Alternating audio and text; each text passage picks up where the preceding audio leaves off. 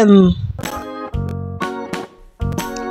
kids, welcome to another video. On today's video, we're going to be learning alphabet. And today's alphabet is M. Enjoy!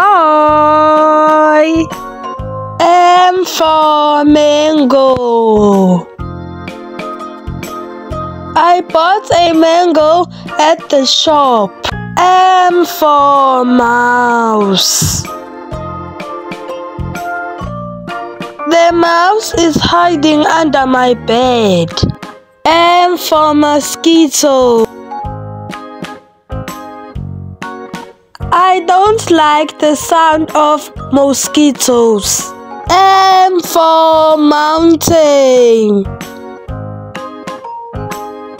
I love watching the view of mountains.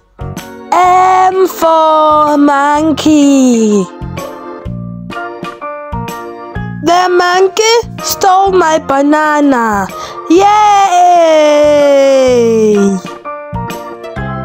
Yay! We've come to the end of our video. Thank you so much for watching. Don't forget to subscribe, like, and share this video. Bye!